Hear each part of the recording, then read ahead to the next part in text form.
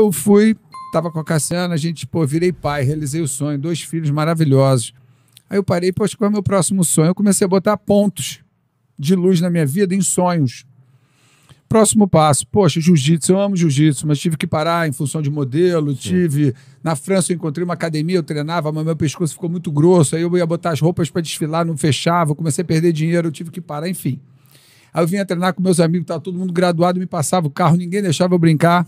Eu comecei a ficar chateado, porque fica chateado, Sim. bicho. Pô, ia treinar, o cara me atropelava, eu falava, vamos pegar onda, brother, não quero mais brincar não, vamos pegar onda. Porque é bacana quando você deixa o adversário jogar. Sim. É um jogo, bicho. Sim. É que nem você jogar sinuca com o Rui Chapéu, ele começar. Sim.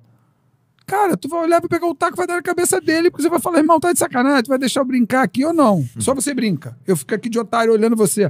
Então é meio assim que eu vi o jiu-jitsu. Aí eu cheguei para um amigo meu, que tá agora em Dubai, o Cabeça, né, o Rafael Robert, da Sul Jiu-Jitsu. Falei, pô, Cabeça, eu já realizei vários sonhos na minha vida. Isso aos 43. Falei, pô, eu tenho um sonho de ser faixa preta, mas, pô, 43 anos, já tô velho. Ele, velho? Pô, deixa eu ver tu treinando. E nesse meio tempo eu tinha levado dois filhos para lutar judô com um cara e o cara não era um bom professor. Eu comecei a ficar chateado e os, e os pais naquela, ah, vai, pega, derruba, pô, criança. Aí eu comecei a brincar na minha casa de jiu-jitsu. Ele viu e falou, pô, quantos anos você tá de azul? Eu falei, 16. Ele, quê? Eu falei, pois é, irmão, 16 anos de azul. Aí ele pegou, me, me, me graduou faixa roxa, eu me empolguei, comecei a treinar, comecei a procurar uma galera, comecei a procurar uns caras bons, comecei a treinar, treinar, treinar, e comecei a treinar de manhã e de tarde.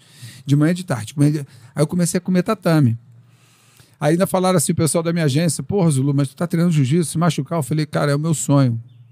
O modelo eu já realizei, eu preciso realizar meu outro sonho, que é, é ser faixa preta. Não pela faixa, mas é pela, pelo respeito Sim. à arte suave, aos meus amigos, Sim. Porque é uma coisa maravilhosa. O jiu-jitsu é muito mais do que um campeonato, do que uma luta, do que um, do que um ego de que eu sou duro, que eu sou bom. Jiu-jitsu, cara, é, é, um infinito. Sim. É uma coreografia de chão.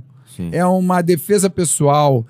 Cara, é uma autoestima, é uma, é uma criatividade. Você pode criar uma posição. Como assim? Pode. Vários criaram. Isso, enfim, é, é fantástico na minha cabeça. Essa, essa amplitude que te dá de abrir as portas das percepções do jiu-jitsu.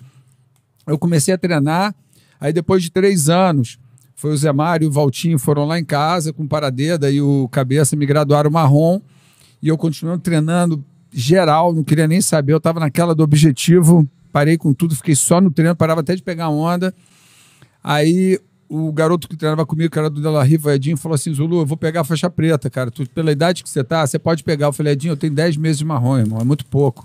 Eu não me sinto seguro. Ele falou, Zulu, eu tô treinando contigo, tu tá bem, bicho, pode pegar, vai tranquilo. Aí o Túlio, que é o representante da Riva da Palhoça, me graduou. Ele nunca me viu treinando. Eu falei, gente, eu não quero isso pra mim. Aí eu liguei pro Pitoco. Pô, Pitoco, seguinte, irmão. Falei com o Gordo também. Falei, olha, o cara aqui me graduou, faixa preta, só que ele não é meu amigo como vocês. Vocês são as pessoas que eu admiro desde pequeno, comecei com vocês. Eu gostaria que vocês me avaliassem, então eu vou viajar para o Rio, pego um cara duro, tá? Por favor, eu vou de marrom e vocês vão me avaliar. Se vocês acharem que eu sou marrom, eu fico com a marrom. Se vocês acharem que não, eu quero que vocês me deem a preta. Aí eles marcaram um treino com o Davi Vieira. Uma pedra. Uma pedra. No auge, no auge dele. Eu treinei com ele lá. Pois é. Só que eu tava, André, assim, eu tava muito nos cascos, mas muito. É porque eu tava treinando direto, de geral, com todo tipo de, de linha, com todo tipo de academia. Não tinha. Chegava e não queria saber quem era, ia para dentro. Tomei muito amasso, mas teve situações que eu também tive vantagem, enfim. Mas na maior humildade, eu não vou ser competidor, eu queria só ter certeza de que eu era merecedor daquele troféu do meu sonho. Sim. Aí treinei, a gente começou a treinar. Eu me lembro que comecei a treinar com o Davi, ele já quis ir para as costas, eu, come... eu consegui defender, enfim, resumindo a brincadeira. Cara, foi 3 a 2 para mim, finalização.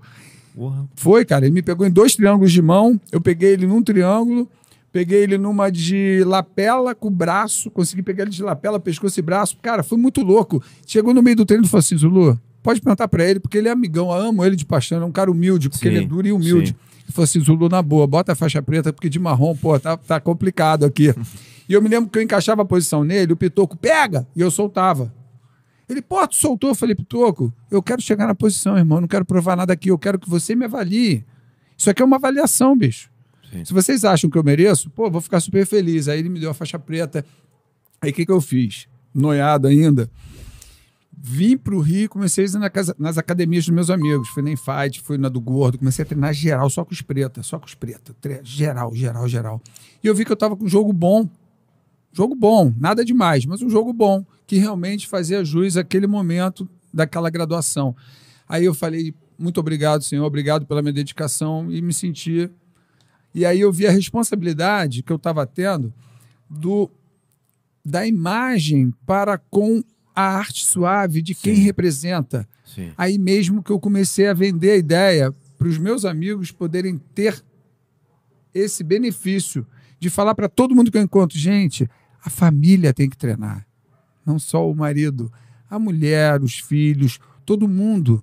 Porque na minha concepção, André, como eu não conseguia jogar, quando eu me graduei, eu- as pessoas me procuravam para brincar. Eu deixava elas brincando, eu passava as posições e, e- e fazia intencionalmente cair na posição. E falava para a pessoa: olha agora, aquela posição que eu te passei, vai lá, babá. Então eu fazia sempre o treino didático.